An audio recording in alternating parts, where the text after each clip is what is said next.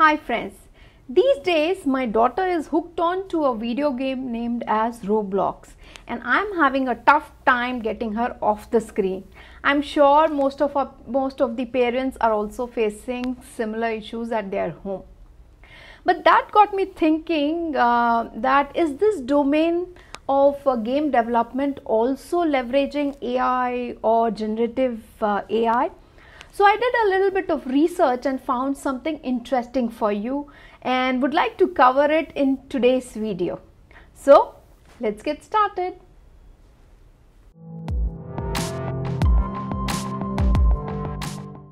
What is game development? If you ask me, I'll say it's a perfect combination of art and technology coming together to give you an immersive experience as a user or as a player. Now, how are these games developed? So, in a simple language, these games are developed in three phases. First one is design phase. Now, this is the phase where the concept art happens, which starts with designing the story of the game, what type of game that you want to design, what would be the theme, what all will be the characters, sound design, your uh, lighting, and uh, also this is the stage where all the levels are designed. Once all the assets are created then we move into game development. Now in game development there are two things that happens.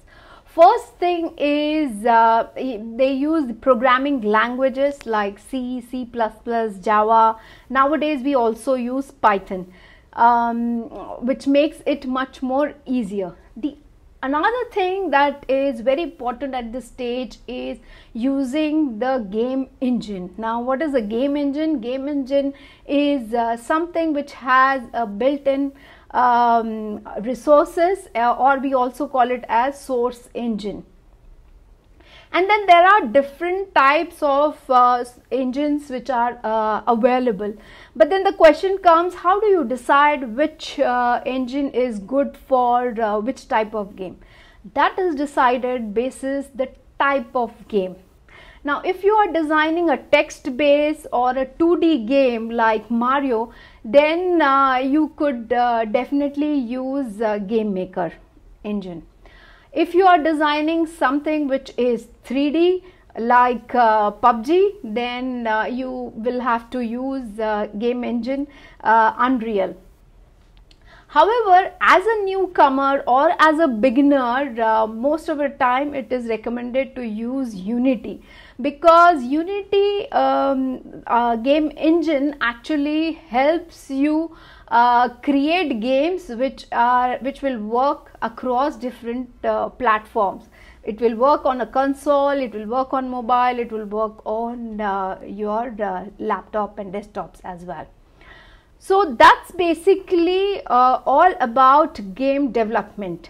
Now in terms of uh, how does this gaming industry is doing or what is the potential which is there, then uh, currently the projection is that this industry will touch 380 uh, billion dollars by 2023 and it is expected to move to 520 billion dollars by 2027 so a huge potential in this area. And if you are someone who is thinking about getting into game development then this is the time where you could uh, jump in. Now let's look at which are the areas where AI and generative AI are helping gaming industry.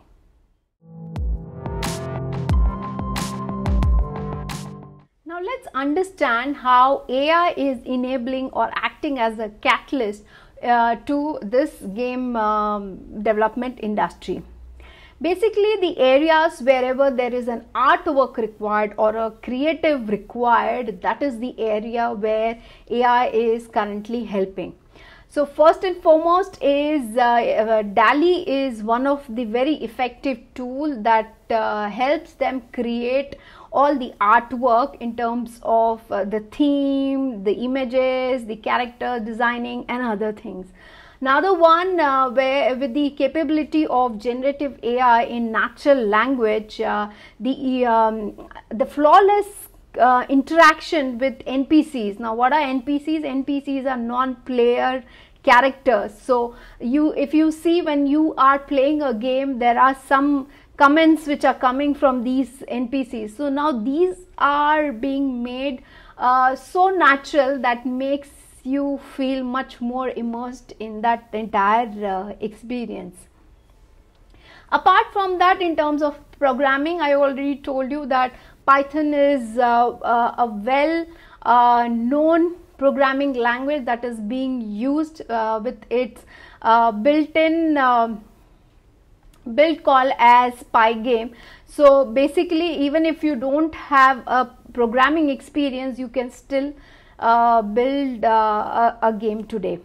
And recently nvidia has announced uh, about its real-time npcs uh, which gives you a unique and a different experience to every individual so as and when this is moving ahead it's giving you much more enhanced and advanced level of games which will keep you hooked for a longer time. So definitely i'll have a tough time uh, controlling my daughter. So i need to be ready for it. Hope you liked uh, today's video. And if you did please like share subscribe and let me know how you felt about it with that me sarika Hussain signing off for today